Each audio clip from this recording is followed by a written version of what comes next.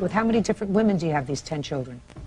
Um, I'll give give you a second, just a second. Let me, I don't want you to make a mistake. I'll let you think about it for a second.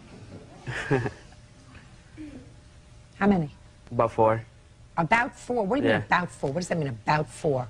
Um, about four of them, including um, your daughter. What are you talking about? It was just a joke, man. Tragic.